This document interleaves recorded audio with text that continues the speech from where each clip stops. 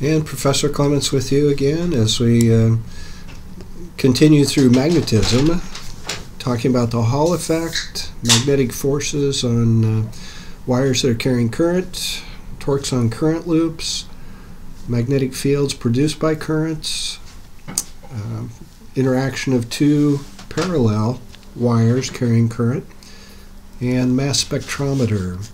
So it's kind of a long list. We're going to hit the highlights here, starting with the Hall effect.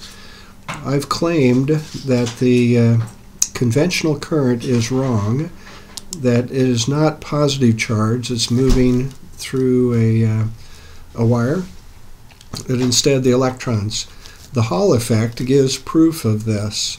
So we have two drawings here, conventional current going off to the right, and in these drawings we can see uh, the correct view, electrons traveling to the left, opposite the direction of the conventional current.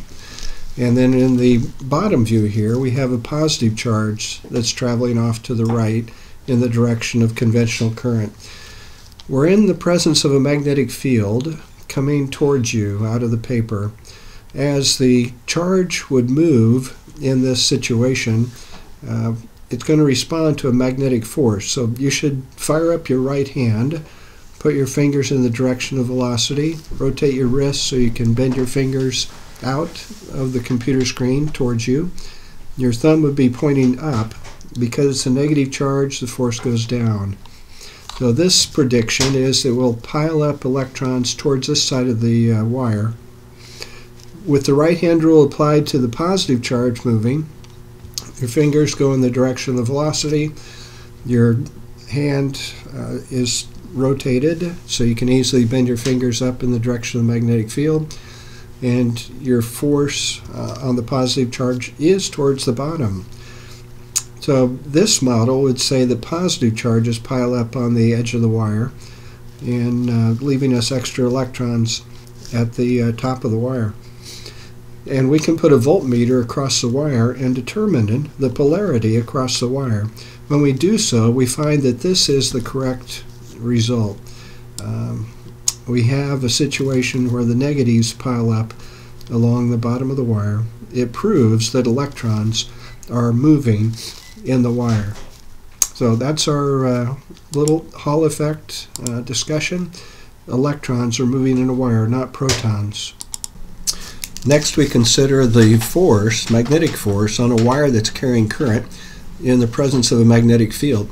We should not be surprised that there is a force because we have moving charges in the wire.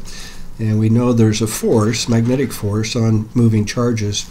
So in this situation, our conventional current's coming out towards you. If you would use your right hand and put your hand, your fingers of your right hand in that direction, and then rotate your palm so you can easily turn your fingers in the direction of the magnetic field, these red arrows, you should find that your thumb is pointing upward, the direction of the force. There is a force on a wire that's carrying current, and we can calculate the value of that force with a, a formula, the current in the wire times the length of the wire that's in the magnetic field times the strength of the magnetic field, and we'll assume that strength is uniform, is constant over the whole length of the wire, and then multiply by the sine of theta, where theta is the angle in between the current and the magnetic field. you can see in this sketch that would be 90 degrees. The current is coming out towards you, the magnetic field is off to your right. So that would be 90 degrees, and that's a fairly simple calculation. Um, then we can uh, consider torques on loops of current. We have here a situation, a loop of wire in between two poles of a magnet. And if we consider any section of this uh, loop of wire over on the right side here, the current is going down. If you look carefully at the blue arrows, the current is going down. So I would put my fingers along that current direction. I would rotate my wrist so I could easily turn my fingers towards the south pole and I would find that my thumb is pointing out towards you. If I come to the other side, the current is in the reverse direction. The current is up on this side of the loop. And putting my fingers in the direction of the current, rotating my wrist so I can easily turn my uh, uh, my fingers in the direction of B, I find that the force is back into the paper in that situation. Now, if you notice, both of these forces have a lever arm. They're some distance away from the axis of rotation, so we get a torque. And the magnetic force will create a, a torque in this situation that can be um, used to make a motor or can be used to make an ammeter as we've uh, used in class. This slide has a little bit more detail from the top view of calculating or specifying the direction of the force. And again, you can see the, uh, the torque that exists there. You might want to pause my uh, video here and examine, uh, try your right hand on, this, on these diagrams. Uh, in terms of a motor, you possibly could appreciate that uh, we'd have a problem if this loop goes around too far with the current keeping the same direction. If the uh, loop goes around too far, the torque will actually reverse on this loop and the, uh, the coil would just kind of oscillate back and forth. So the solution for that is to change the direction of the current every 180 degrees of the loop of wire at the proper time. The brushes here go across the gap and then connect to the other half that they uh, were connected to before. In that way, the torque maintains a constant direction and the loop maintains a constant direction of spin.